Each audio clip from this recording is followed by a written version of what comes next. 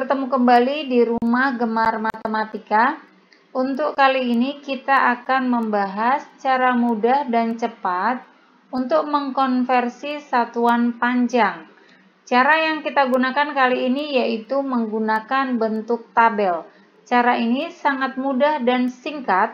Silahkan disimak dengan baik, namun sebelumnya jangan lupa untuk tetap dukung Rumah Gemar Matematika dengan cara subscribe dan tekan tombol loncengnya supaya bisa mendapatkan notifikasi video-video terbaru.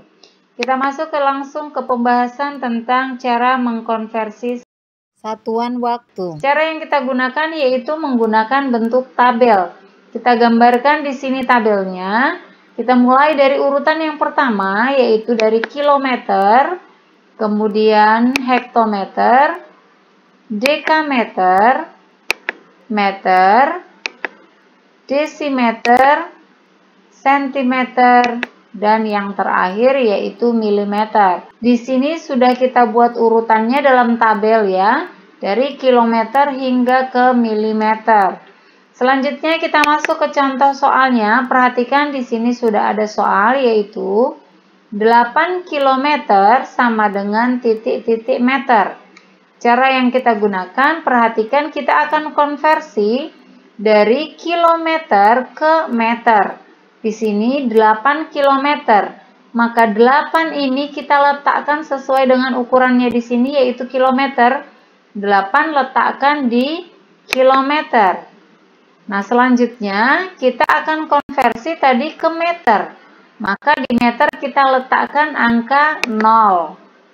Jika sudah, selanjutnya ini yang kotak 02 ini kita isi saja langsung dengan dua angka 0. Nah, ini di sini hasilnya dalam tabel yaitu 8000. Maka 8 km itu sama dengan 8000 meter. Nah, ini contoh pertama. Masuk ke contoh yang kedua yaitu 23 hektometer sama dengan titik-titik sentimeter. Perhatikan, untuk soal yang kedua ini angkanya adalah puluhan ya, 23. Maka kuncinya yang pertama kita temukan dulu yang mana yang merupakan angka satuan. 23 satuannya adalah angka 3 ya. 3 ini merupakan satuan. Maka kita letakkan satuannya terlebih dahulu ya. Di sini hektometer ke sentimeter berarti kita letakkan di hektometer kolom hektometer. Tiganya letakkan di kolom hektometer. Kemudian untuk duanya, duanya berada di depan tiga ya. Maka duanya juga kita letakkan di depan tiga. Selanjutnya tadi hektometer kita konversi ke sentimeter. Maka langsung ke sentimeter letakkan angka 0. Nah di sini masih ada tiga kotak kosong. Untuk tiga kotak kosong ini tinggal tuliskan angka 0 saja ketiga-tiganya. Sekarang menjadi 230.000. Berarti 23 hektometer sama dengan 230.000 cm.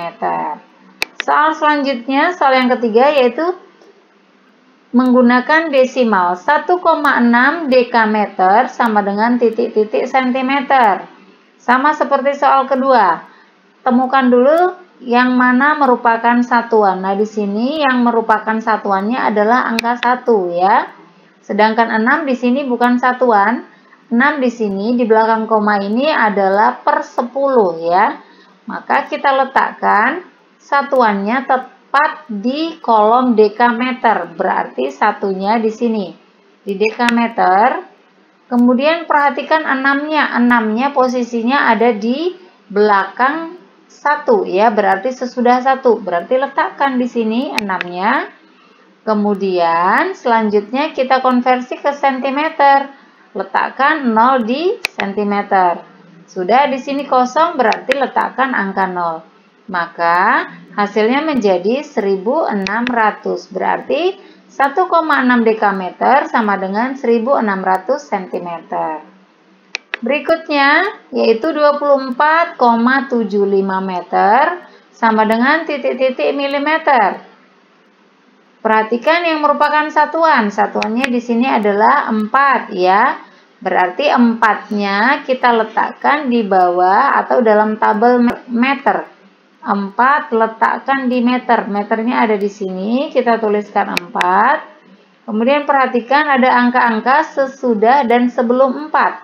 Perhatikan di sini di depan 4 ada angka 2, berarti tuliskan juga di depan 4 ada angka 2. Kemudian 7 dan 5. 75 sesudah 4, berarti di sini 7 dan di sini 5. Perhatikan di sini dikonversi ke milimeter, berarti letakkan 0 di bawah milimeter. Sudah selesai, tidak ada lagi kolom yang kosong, berarti 24,75 meter sama dengan 24.750 mm.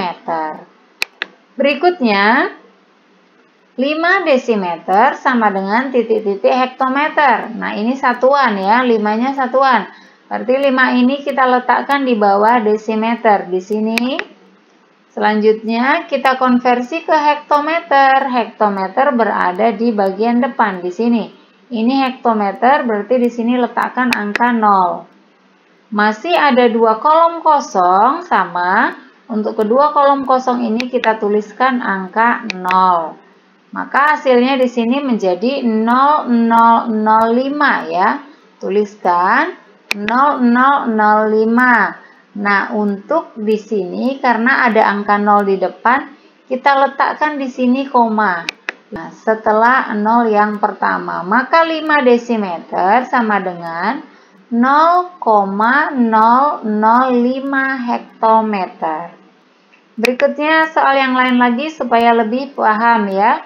78 cm sama dengan titik-titik meter. Satuannya adalah 8 ya. Satuannya 8, berarti 8 ini kita letakkan di bawah cm. Cm kolomnya ada di sini, kita letakkan di sini 8. Kemudian di depan angka 8 ada 7, berarti letakkan di depan 8 7-nya. Kemudian dikonversi ke meter. Meter ada di depannya juga. Kita tuliskan angka 0. Berarti menjadi 078. 078. Tuliskan koma setelah angka 0. Sehingga 78 cm sama dengan 0,78 meter. Soal yang ketujuh, 5,7 desimeter sama dengan titik-titik kilometer. Satuannya adalah 5. Berarti 5 kita letakkan di bawah desimeter. Desimeter ada di sini, berarti tuliskan 5. Perhatikan angka setelah 5, di sini 7. Setelah 5 ya, sesudah 5 7, berarti di sini 7-nya. Kemudian kilometer, kita akan konversi ke kilometer. Perhatikan kilometer ada di depan, berarti di sini tuliskan angka tentunya 0 ya. Tiga kotak kosong ini juga kita isi dengan 0. 0, 0, dan 0. Maka di sini dalam tabel kita bisa lihat 0, 0, 0, 0, 5, 7. Kita tuliskan. Berarti kita letakkan komanya setelah angka 0 yang pertama. Maka 5,7 desimeter sama dengan 0, 00057 km. Yang terakhir, 61,4 meter sama dengan titik-titik hektometer yang merupakan satuan adalah angka 1 ya. Berarti satunya kita letakkan di bawah meter karena di sini meter, letakkan di sini 1. Kemudian di depan 1 ada 6 dan di belakang satu ada 4. Kita konversi ke hektometer. Hektometer berarti di depannya di sini dituliskan 0.